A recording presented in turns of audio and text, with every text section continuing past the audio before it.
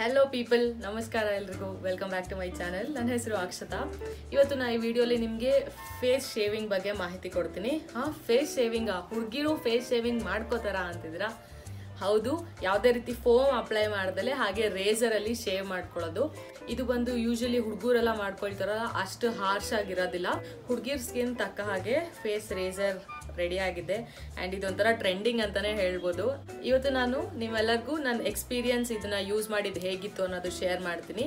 ಇದ್ರದ್ದು ಪ್ರಯೋಜನ ಹೇಳ್ತೀನಿ. ಆ್ಯಂಡ್ ಇದರಿಂದ ನನಗೆ ಹೇಗೆ ಉಪಯೋಗ ಆಗ್ತಿದೆ. ಹಾಗೂ ಕೆಲವೊಂದು ಮಿತ್ಸ್ ಇದೆ ಇದ್ರ ಬಗ್ಗೆ. ಆ, ಅದು ಮಾಡ್ಕೊಂಡ್ಬಿಟ್ರೆ ಜಾಸ್ತಿ ಕೂದಲು ಬರುತ್ತೆ ಅಂತ ಎಲ್ಲ. ಸೊ ಅದನ್ನೆಲ್ಲ ಕ್ಲಿಯರ್ ಮಾಡ್ತೀನಿ ನಿಮಗೆ ನಾ ಈ ವಿಡಿಯೋನಲ್ಲಿ ನಾನು ಸ್ಟಾರ್ಟ್ ಮಾಡೋದಕ್ಕಿಂತ ಮುಂಚೆ ಯಾರ್ಯಾರೆಲ್ಲ ಫಸ್ಟ್ ಟೈಮ್ ನಮ್ಮ ಚಾನಲ್ ನೋಡ್ತಾ ಇದ್ದೀರೋ ದಯವಿಟ್ಟು ಹೋಗಿ ಬೇಗ ಸಬ್ಸ್ಕ್ರೈಬ್ ಆಗಿ. ಆ್ಯಂಡ್ ಸಬ್ಸ್ಕ್ರೈಬ್ ಆದ ನಂತರ ಬೆಲ್ ಐಕನ್ ಕ್ಲಿಕ್ ಮಾಡೋದು ಮರಿಬೇಡಿ. ಯಾಕೆಂದರೆ ನೀವು ಬೆಲ್ ಐಕನ್ ಕ್ಲಿಕ್ ಮಾಡಿದಾಗ ನಾನು ಯಾವುದೇ ವಿಡಿಯೋ ಹೊಸದಾಗಿ ಅಪ್ಲೋಡ್ ಮಾಡಿದ್ರು ನಿಮಗೆ ಇನ್ಸ್ಟಂಟಾಗಿ ನೋಟಿಫಿಕೇಶನ್ ಬರುತ್ತೆ. ಆ್ಯಂಡ್ ನಿಮ್ಮ ಫ್ರೆಂಡ್ಸ್ ರಿಲೇಟಿವ್ಸ್ ಎಲ್ಲರೊಂದಿಗೆ ಕೂಡ ಶೇರ್ ಮಾಡಿ ಅಂತ ಕೇಳ್ಕೊಳ್ತೀನಿ. ಬನ್ನಿ ಹಾಗಾದರೆ ತಡ ಮಾಡೋದು ಬೇಡ. ಫೇಸ್ ಶೇವರ್ ಬಗ್ಗೆ ಹೆಚ್ಚಿನ ಮಾಹಿತಿ ಕೊಡ್ತೀನಿ ನಿಮ್ಗೆ ಇವಾಗ. ಫಸ್ಟ್ ಆಫ್ ಆಲ್ ಈ ಫೇಸ್ ರೇಸರ್ ಬಂದು ಫೆದರ್ ಪಿಯಾನಿ ಅನ್ನೋ ಬ್ರ್ಯಾಂಡಿಂದು ಆ್ಯಂಡ್ ನೈಂಟಿ ನೈನ್ ರುಪೀಸ್ ಆಯಿತು ನಾನು ನೈಕಾದಲ್ಲಿ ತೊಗೊಂಡಿದ್ದನ್ನ ಸಿಂಗಲ್ ಪೀಸ್ಗೆ ನೈಂಟಿ ನೈನ್ ರುಪೀಸ್ ಆ್ಯಂಡ್ ಬ್ಲೇಡ್ಗೆ ನೋಡಿ ಬ್ಲೇಡ್ ಎಷ್ಟು ಶಾರ್ಪ್ ಇದೆ. ಬ್ಲೇಡ್ಗೆ ಕವರ್ ಆಗಲಿಕ್ಕೆ ಈ ಥರದ್ದು ಒಂದು ಪ್ಲಾಸ್ಟಿಕ್ದು ಮುಚ್ಚಲ ಥರ ಕೊಟ್ಟಿದ್ದಾರೆ. ಸೊ ಕ್ಯಾಪ್ ಅಂತ ಹೇಳ್ಬೋದು. ಆ ಕ್ಯಾಪಿಂದ ಕರೆಕ್ಟಾಗಿ ಕುತ್ಕೊಳ್ಳುತ್ತೆ. ಕಮಿಂಗ್ ಟು ಮಿತ್ಸ್ ಯಾಕೆಂದರೆ ಕೆಲವೊಂದು ಮೂಢನಂಬಿಕೆಗಳಿದೆ. ಈ ಈ ಥರ ರೇಸರಲ್ಲಿ ಹುಡುಗಿಯರು ಶೇವ್ ಮಾಡಿಕೊಂಡ್ರೆ ತುಂಬ ದಾಡಿ ಬಂದ್ಬಿಡುತ್ತೆ. ಕೂದಲಿನ ಹೆಚ್ಚು ಬೆಳೆಯೋಕ್ಕೆ ಸ್ಟಾರ್ಟ್ ಆಗುತ್ತೆ ಅಂತ.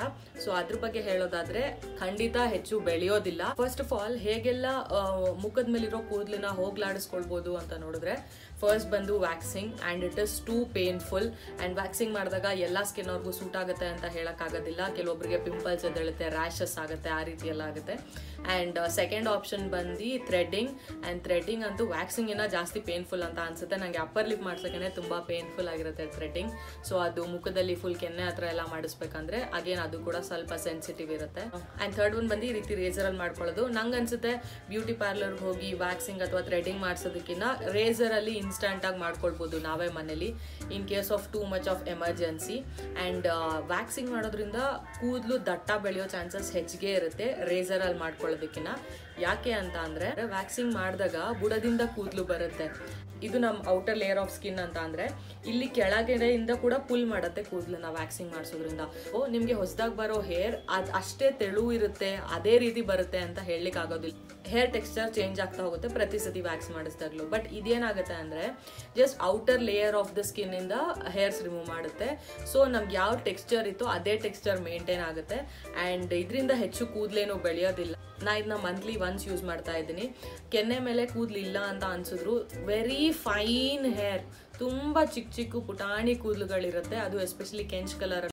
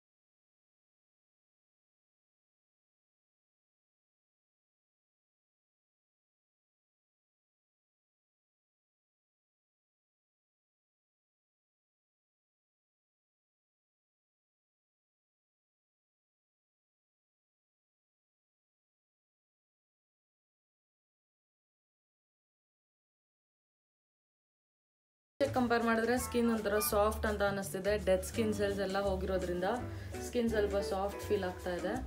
ಆ್ಯಂಡ್ ಇದ್ರದ್ದು ಇನ್ನೊಂದೇನು ಅಂತ ಅಂದರೆ ಹಚ್ಕೊಂಡು ಫುಲ್ ಹೇರ್ಸ್ ಎಲ್ಲ ರಿಮೂವ್ ಮಾಡಿ ಆದಮೇಲೆ ಮತ್ತೆ ನೀವು ಮಾಯಶ್ಚರೈಸರ್ ಅಪ್ಲೈ ಮಾಡಬೇಕು. ಇಲ್ಲ ಅಲೋವೆರಾ ಜೆಲ್ ಬೆಸ್ಟ್ ಅಂದರೆ aloe vera gel aloe vera ಜೆಲ್ನ apply ಮಾಡಿ ಒಂದು ಟೂ ತ್ರೀ ಸೆಕೆಂಡ್ಸ್ ಮಸಾಜ್ ಮಾಡಿ. ಯಾಕೆಂದರೆ ನೆನಪಿದೆ ಅಲ್ಲ ಐಬ್ರೋ ಏನಾದರೂ ಮಾಡಿದಾಗ ನಮಗೆ ಪಾರ್ಲರಲ್ಲೂ ಕೂಡ ಚಂದ ಮಸಾಜ್ ಮಾಡ್ತಾರೆ ಒಂದು ಟೂ ತ್ರೀ ಸೆಕೆಂಡ್ಸ್ಗೆ ಸೊ ಆ ಥರ ಮಾಡ್ಕೊಳ್ಳೋದು ಮರಿಬಾರ್ದು. ಆ್ಯಂಡ್ ನೀವು ಅದಾದಮೇಲೆ ನೋಡ್ಬೋದು ಮೇಕಪ್ ಆಗಲಿ, ಏನೇ ಅಪ್ಲೈ ಮಾಡಿದ್ರು ಕರೆಕ್ಟಾಗಿ ಕುತ್ಕೊಳ್ಳುತ್ತೆ. ಆ್ಯಂಡ್ ಈವನ್ ಮಾಯಿಶ್ಚರೈಸರ್ ಅಪ್ಲೈ ಮಾಡಿದ್ಲು ಡೀಪ್ಲಿ ಪೆನಿಟ್ರೇಟ್ ಆಗ್ಲಿಕ್ಕೆ ಹೆಲ್ಪ್ ಆಗುತ್ತೆ. ನಾ ಅಲೋವೆರಾ ಜೆಲ್ ಯೂಸ್ ಮಾಡೋದಿಲ್ಲ. ಇದೇ ರೀತಿ ಅಲೋ ಅಲೋವೆರಾ ಗಿಡ ಇದೆ ಅಲ್ಲ ಸೊ ಅದರಿಂದ ಡೈರೆಕ್ಟಾಗಿ ಜೆಲ್ ಅಪ್ಲೈ ಮಾಡ್ಕೊಳ್ತೀನಿ. ಯಾವುದೇ ರೀತಿ ಅಲೋವೆರಾ ಜೆಲ್ ಕ್ರೀಮ್ ಥರ ಏನು ಯೂಸ್ ಮಾಡಲ್ಲ. ಇದು ಹೀಗೆ ಹಾಫ್ ಕಟ್ ಮಾಡ್ಕೊಂಡಿದ್ದೀನಿ. ಆ್ಯಂಡ್ ಎಷ್ಟು ಬೇಕೋ ಅಷ್ಟೇ ಮಾತ್ರ ತಗೋತೀನಿ ಎಲ್ಲ ಟೈಮಲ್ಲೂ ತುಂಬ ಸ್ಮೂತ್ ಆಗುತ್ತೆ ಸ್ಕಿನ್ ಅಂತಲೇ ಹೇಳ್ಬೋದು ಇದರಿಂದ. ತುಂಬ ಯಾವಾಗಾದರೂ ಅರ್ಜೆನ್ಸಿ ಇರುತ್ತೆ. ಪಾರ್ಲರ್ಗೆ ಹೋಗೋಕೆ ಆಗೋದೇ ಇಲ್ಲ ಅಂಥ ಟೈಮಲ್ಲಿ ಮಾಡ್ಕೊಳ್ಬೋದು. ತೊಂದರೆ ಇಲ್ಲ. ಆದರೆ ಒಂದು ಪ್ರಾಬ್ಲಮ್ ಅಂತ ಅಂದರೆ ಪಿಂಪಲ್ಸ್ ಏನಾದರೂ ಇದ್ದರೆ ಅದ್ರ ಮೇಲೆ ರೇಸರ್ ಅಪ್ಲೈ ಮಾಡಬಾರ್ದು. ಆ್ಯಕ್ಚುಲಿ ಇದು same thing will be applied on wax ಅಂತಲೂ ಹೇಳ್ಬೋದು. ಪಿಂಪಲ್ಸ್ ಎಲ್ಲ ಇದ್ದರೆ ವ್ಯಾಕ್ಸ್ ಮಾಡಿಸಿದಾಗ ಇನ್ನೂ ಸ್ವಲ್ಪ ರಾಡಿ ಆಗುತ್ತೆ ಅಲ್ಲ? ಸೊ ಅದೇ ಥರ ಮುಖ ಏನೂ ಉರಿತಾ ಇಲ್ಲ ನನಗೆ ಚೆನ್ನಾಗೇ ಅನ್ನಿಸ್ತಾ ಇದೆ.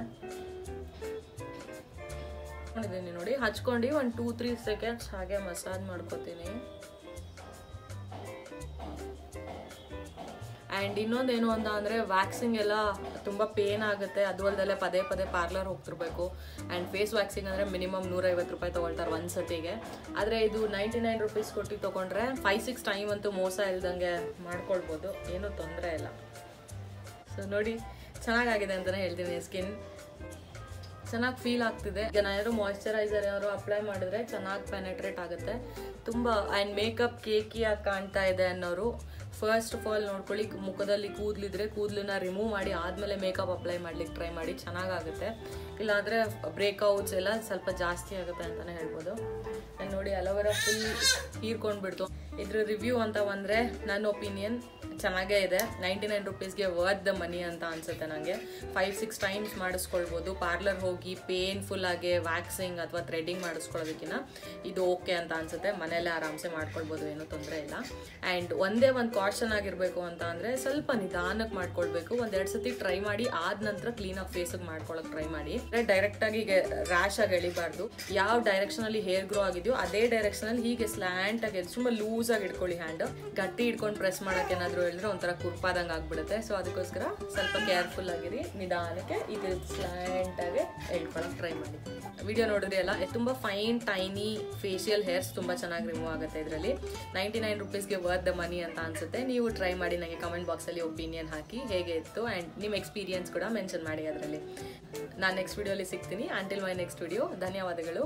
All the best and share subscribe comment ಮಾಡೋದು ಮಾತ್ರ ಮರಿಬೇಡಿ ಓಕೆ Tchau, tchau.